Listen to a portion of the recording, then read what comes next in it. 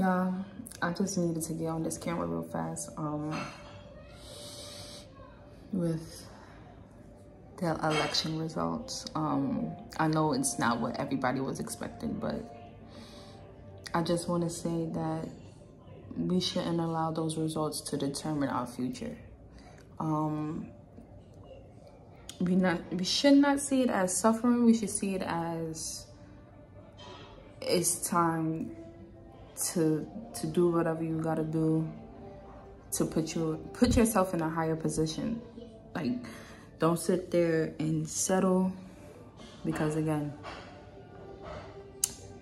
with with majority of the Senate being Republicans, right? It's a potential that that Project 2025 might go into effect. Go eat your food, baby. And throw that away. Go throw that away. Yes. And within Project 2025, so people who are like me, who are on government assistance for housing, if you're receiving food stamps, um, yeah, that will be out the window maybe by next year. Um, and then you also got Trump wanting to get rid of Department of Education. Please, please, please, please, please, please, please, please. By all means, do whatever research I have to do in order to protect your kids and also yourself. It's sad to say, but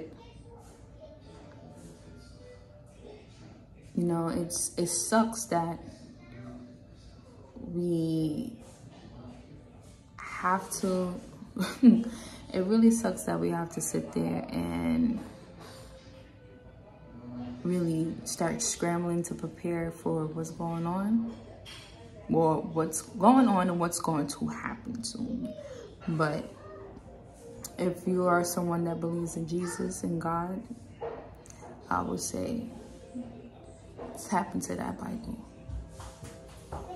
Tap into that bible and and just hope for the best and continue to just put your trust in God because I kid y'all not, I am someone who overthinks a lot and I'll overthink myself into an anxiety attack. And like for some reason, I didn't do that today because I kid y'all not, as soon as I woke up, course, I went onto social media because I find out almost everything from social media regarding to what's going on in the world. And when I saw Trump has been reelected,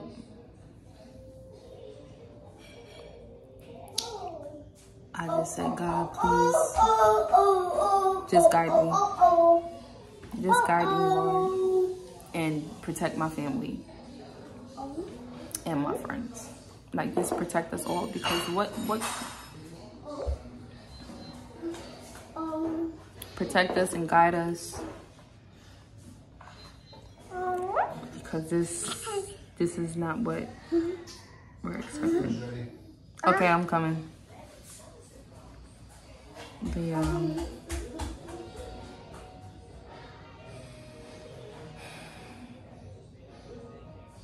just be prepared for a lot of changes.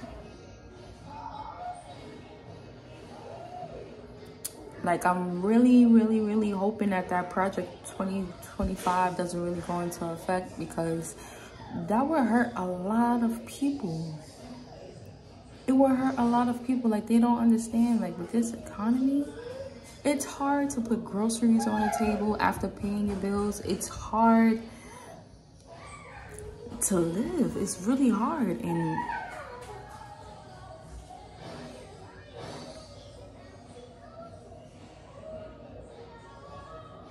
just to think that there's a potential that that can get taken away is,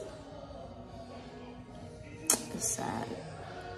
But again, lock get locked into that Bible and just keep praying. I don't know how many times I have been in a hardship and where I'll just go ahead and turn to God and just pray pray, pray, pray, pray, pray. And then maybe a couple minutes later or an hour later, he answers that prayer.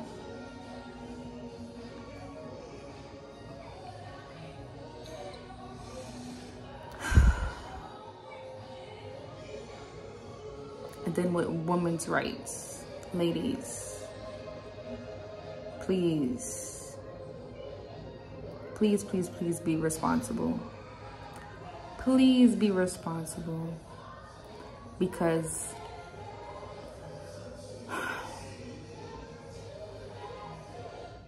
the last thing you need is to have someone telling you what you can and cannot do with your body. If you know you don't want to have no baby, please use protection. Please, please, please. Because I was even shocked to see that New York wanted to ban abortions. Like, I didn't even know that was going on until I started seeing my emails. And I got text messages telling me what to say yes to. And I was like, what? What? Correct me if my if I'm wrong because I know if they're gonna ban abortions or if they try to ban abortions, right? They're gonna also take away birth control that women will need for hormonal issues. And like for anything else, like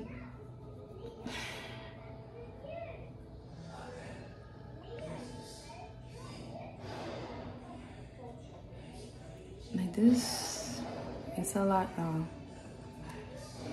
but it's a good thing. It's a good thing that you know new york is protected for the abortions and stuff. I saw the rate like the for what one um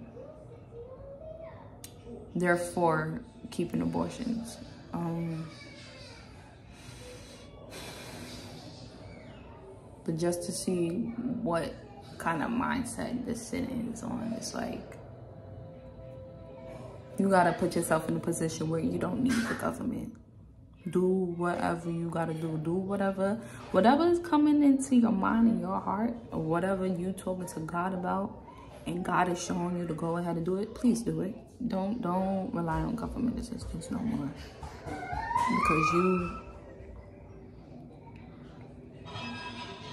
gotta just stay prepared so you don't have to get ready.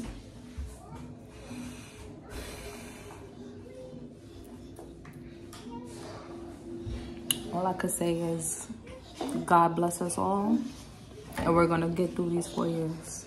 Do we? There they are.